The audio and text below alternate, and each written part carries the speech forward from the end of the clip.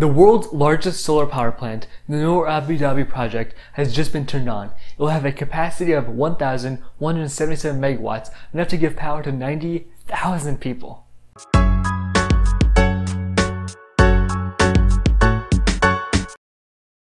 This project is massive. Not only will it produce enough renewable energy to equate taking 200,000 cars off the road, but it will also reduce carbon emissions by 1 million metric tons per year.